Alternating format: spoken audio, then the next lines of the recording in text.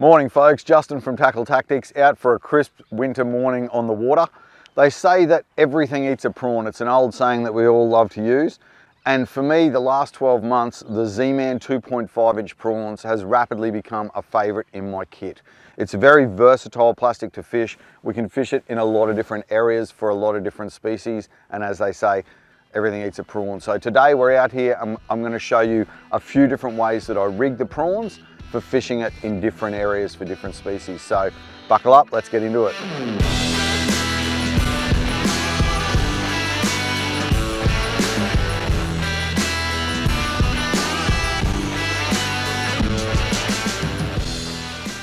All right, we're gonna kick off with one of my favorite presentations with the PrawnZ for fishing deeper drains, deeper edges and those sorts of things. And that's a quarter ounce 10 TT DemonZ with that 2.5 inch PrawnZ. I've gone for a green head and I've gone for a blood oil color in the PrawnZ. It's, you know, early morning and we're getting for that nice dark silhouette and we've also got that UV characteristics of that oil plastic to capture that morning sun and, and get that UV pop. So this is a good one for weed edges, you know, dirty water, dark water, but also early and early morning, late arvo and fishing deeper. See if we can find one.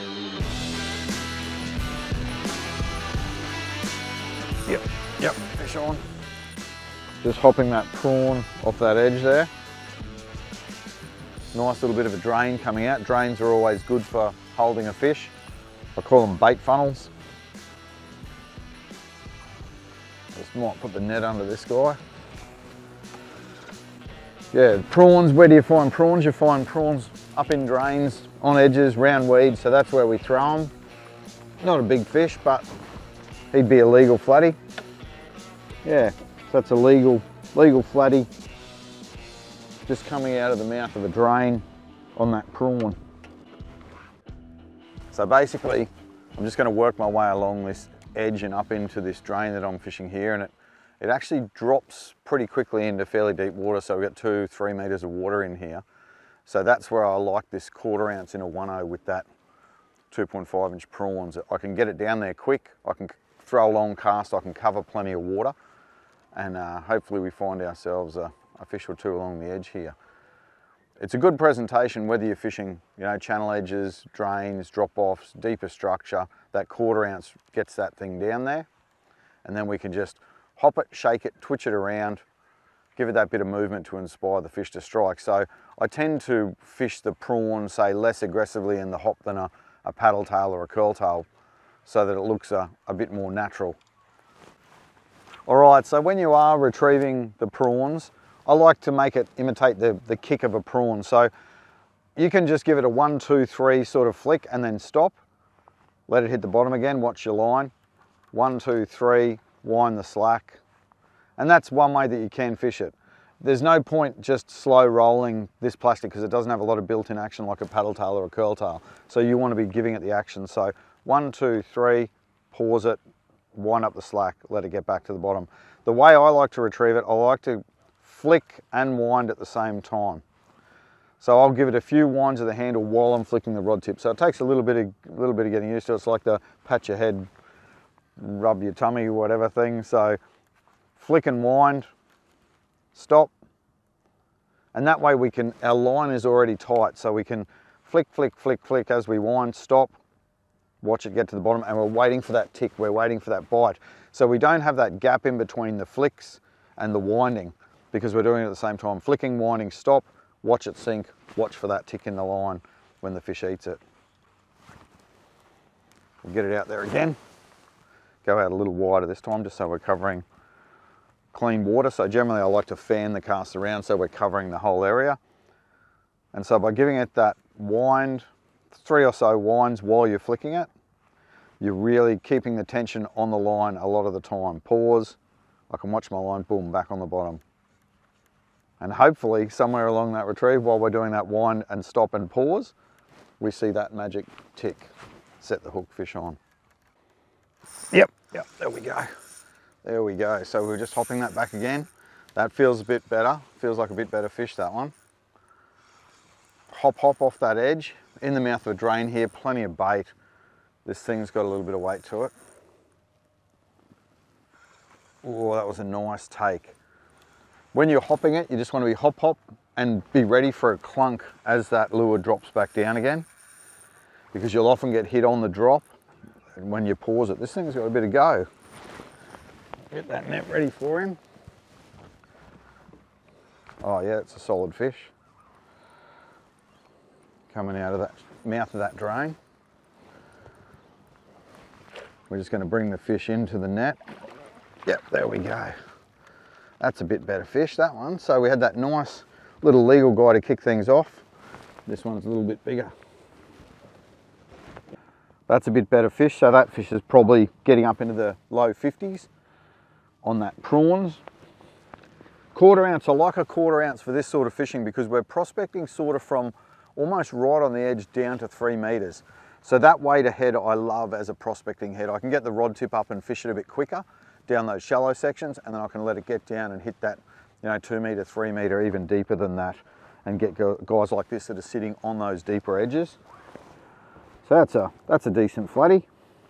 Flicking that PrawnZ on the two to four kilo gear for what I'm doing for this sort of fishing. So that's a great all-round estuary combo for this type of fishing. So that's two to four kilo, two piece TT red belly, 2500 Ceymar HD, eight pound Pulse X8 braid in white, and I've got a 10 pound leader.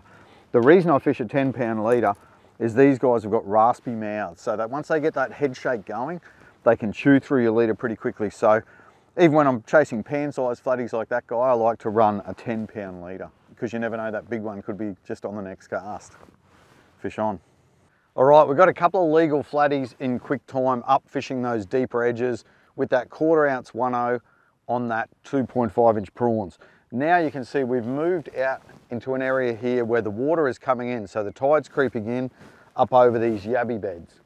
So we're gonna match the hatch. Fish will be up here hunting for yabbies. So we're going to change our presentation to represent those key strike triggers of a yabby. So we've got our legs and, and movement and that sort of look of a yabby. And we've also got this bright orange head, which represents that orange of the yabby. So the fish are just gonna see the movement, the profile, the orange, that's a yabby. I'm gonna eat it. So we're gonna match the hatch and try and stir a couple of fish up on this guy here. So this is a 1 6th ounce in a size one in a TT NedlockZ jig head and our two and a half inch PrawnZ in a Houdini color, which is a really beautiful, natural looking sort of yabby color. So this Ned rig will sit straight up like that on the bottom, and we're basically just gonna hop it, twitch it, shuffle it, drag it along the bottom, and it'll stand back up naturally like that, like a strike trigger for the fish. So that's our yabby presentation. Let's get ourselves a fish on the yabby flats. Yep, yep. Oh yeah, there we go. That's that yabby presentation. No, he doesn't feel real big. Yabby presentation hopped up over that yabby flat. All sorts of species love to eat a yabby. So we're imitating that yabby with the color and also the look of our plastic. So just a little trev, but great fun on light gear, on the one to three kilo gear now for throwing that Ned rig. And that's our one sixth ounce orange head with our Houdini color in the prawn. Just a little handful of trev. Good fun.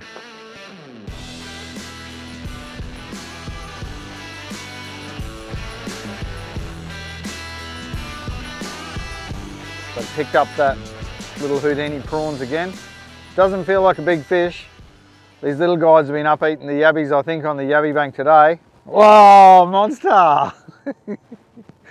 oh, Definitely an effective presentation over the yabby beds. Unfortunately, the little blokes are all over it today. We've caught a couple of small bream and a few small flatties on this Houdini colour with this orange Nedlock. So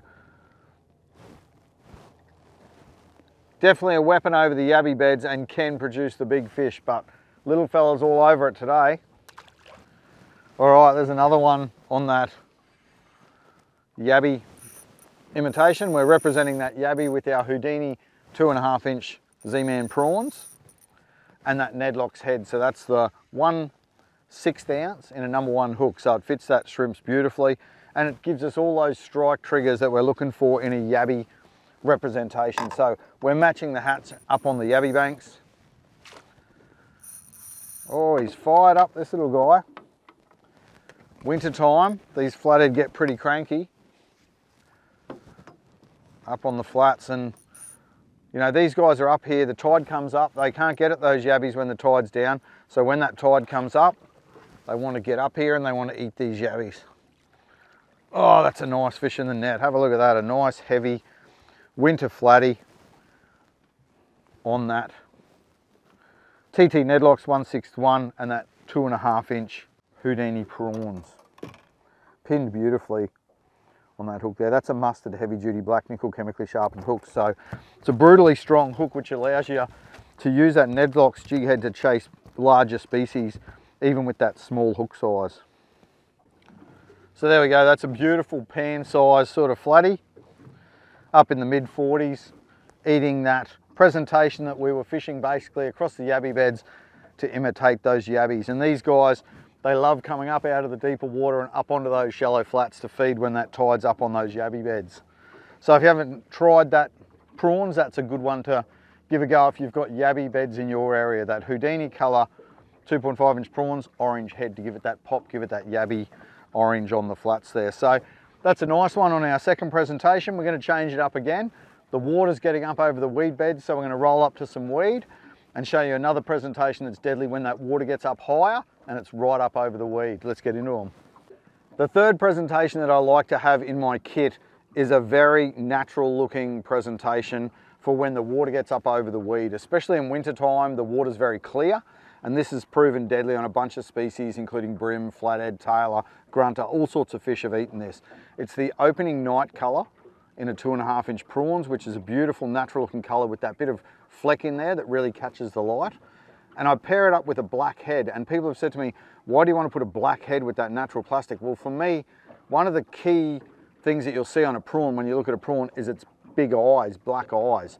So we've got our natural looking prawn with those black eyes and that's a, that's a black UV. And I, I think that it, you know, rather than putting the popping orange colors or the, the more standout colors on here, that just keeps it really natural as a presentation. So two and a half inch PrawnZ opening night on that black head and we're down to a 1 8 ounce in a 1.0. 0.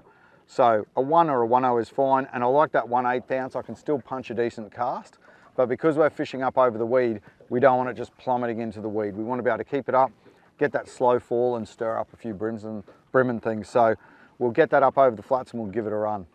Okay, we've just positioned ourselves along the edge of the weed flat here and I've got the wind behind me. So we're actually pushing with the wind and that'll allow me a big long cast with this 1 8 ounce head. So retrieve wise, I'll generally punch a big long cast with this guy and it's a lighter head on there. So I'll just give it a few twitches and I'll let it slowly sink down over the weed. So I'm not getting it down into the weed, I'm fishing it above the weed. If you see a sandy patch or two, you can pick those and let that plastic get right down to the bottom. Otherwise, I keep it moving. So I'll fish it fairly quick at times and I'll just mix up that retrieve with a few pauses and that sort of thing and allow it to slow fall. So it looks very natural like a prawn that's working over the weed. And bream and other species just smash it. So long cast again, just that twitch and wind, give it a stop, twitch and wind, and we're just watching that line for a tick in the line or for that rod to just load as a fish eats it. Nice twitchy retrieve. If, you, if you're not on the twitch and wind thing, you can just give it a few flicks, give it a pause, wind up the slack, a few flicks, and that'll catch them as well. Oh, there we go. That didn't take us long up on the flat. Not a monster, but we're fished up over the weed with this lighter jig head. But because we're in less than a metre of water, we'll pick up flathead as well in amongst the bream. So this is a legal flatty on that 1 8 ounce black HeadlockZ Finesse painted head. That's the UV black on that opening night coloured prawn. So that's a, a legal flatty, a nice chunky little flatty. Picked it up over the top of the weed. So with that retrieve, we're just flicking it over the top of the weed into the sand pockets, allow it to fall into the sand pockets. And yeah, pick up a variety of species on that opening night colour. It's a beautiful colour for fishing that winter clear water conditions. All right, so that little flatty came out of a, a weed pocket there. Just allowing the, that plastic to fall down into the weed pocket and then flatty picked it up. He's chewed up the leader on that one, so I've just grabbed the other rod and I'll um, see if I can turn this one into a bream maybe, just to mix it up. The PrawnZ is a great thing. Everything eats the PrawnZ. So you do not know what you're going to get next on the flats here fishing over the weed. We've got giant trevally, golden trevally, grunter, tailor, flathead, bream, whiting. Most things will eat a prawn twitched over the top of the weed. And they love coming up here to feed on the weed when the tide comes in because it's full of crabs and all sorts of creatures and the bait gets up here as well to try and hide uh, as well as the prawns. So we'll just keep twitching this guy around. We'll see if we can get one more to finish off the session. All right, we've just come across the weed and up onto the edge of the sand here. Those edges where the weed meet the sand are perfect because fish will hunt along those edges. What do we got here? Brembo, I think this time's eating the prawn. So as we said, everything eats a prawn. They'll account for a good mixed bag of fish. He's not a big fish, but there you go, a flatty and a bream in quick time, fishing over the top of the weed flats with that 1 8 ounce in a 1 in that black head with that 2.5 inch PrawnZ and opening night. So a bream and a flatty, those PrawnZ are a versatile option. As you've seen today, we've fished three different rigs in three different environments and we've caught fish in all of those different environments. So if you haven't sussed that PrawnZ out, make sure you check out the PrawnZ on tackletactics.com.au and there's a few different rigging options there for you as well so you can get out and get into the fish in those different environments that we like to fish, fish on.